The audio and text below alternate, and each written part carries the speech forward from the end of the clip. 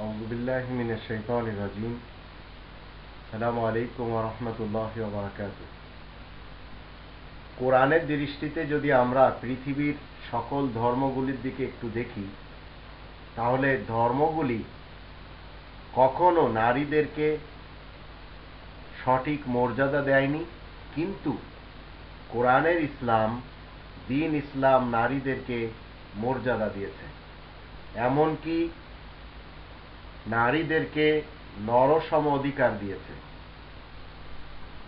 আজও এই দুই হাজার পনেরো সাল আমরা দেখতে পাচ্ছি একবিংশ শতাব্দীতে মিডিয়া মালিকেরা নারীদেরকে পণ্য বিক্রির জন্য ব্যবহার করে যাচ্ছে। নারীরা বিজ্ঞাপনের পণ্য হিসেবে তারা সমাজে পরিচিতি লাভ করেছে। অতীতেও পণ্য হিসেবে এদেরকে বিক্রি করা হতো। সেই ইউরোপের মার্কেটে বলেন, আরবের মার্কেটে বলেন। আর ইউরোপের গোড়া ধার্মিকরা এদেরকে ডাইনি আখ্যা দিয়ে আগুনে পুড়ে মারত। যখন তাদের কাজের জন্য এরা অকেজ হয়ে যেত, তখন এদেরকে পুড়ে মারা হতো।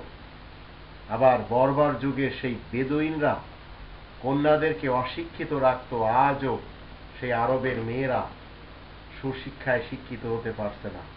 এটিও তাদের জন্য একটি কতলের নতুন একটি রাস্তা, নতুন একটি পন্থা। আর হিন্দু ধর্মে তো আমরা দেখেইছি, দেখেই নিয়েছি যে তারা তাদের স্বামী, তাদের কারও স্বামী মৃত্যু বরণ করলে সেই স্বামীর সাথে জীবিত স্ত্রীকে দাহ করা হতো। আর সেই সতীদাহ প্রথাকে আজ পৃথিবী থেকে চিরবিদায় দিয়ে দেওয়া হয়েছে। যদিও এ ব্যাপারে রাজা রামমোহন রায়, ঈশ্বরচন্দ্র বিদ্যাসাগর, মাইকেল মধুসূদন দত্ত ইনারা সবাই কাজ করেছিলেন। আর আজ নাটকে বলেন, সিনেমায় বলেন, এদেরকে উলঙ্গ করা হচ্ছে।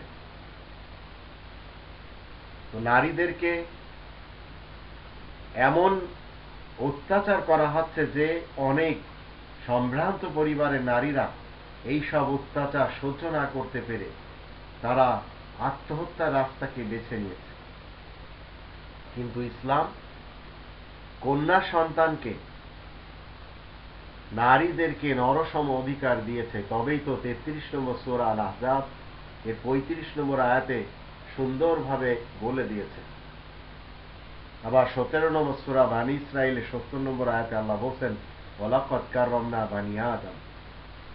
বানিয়া আদম, আদমের সন্তান, সে যেই হোক না কেন, মুসলিম হোক, অমুসলিম হোক, সে নাস্তিক হোক, কমিউনিস্ট হোক, সোশ্যালিস্ট হোক, সে যে কোনো ইজম বা কোনো বাদ বা যে কোনো তন্ত্র আর মন্ত্রকে সে বিশ্বাস করুক না কেন, সে বনি আদম হলেই আল্লাহ বলছেন, তাকে আমি ইজ্জত দিয়েছি। সেই ইসলাম যদি আপনি আর আমি মেনে চলি, এই পৃথিবীতে আমরা শান্তি স্থাপন করতে পারব, নিজ দেশে শান্তি স্থাপন করতে পারব। অন্যথায় অতীতে যেমন নারীদেরকে কোনো মর্যাদা দেওয়া হয়নি, ঠিক এইভাবে কখনো তাদের কোনো মর্যাদা দেওয়া হবে না।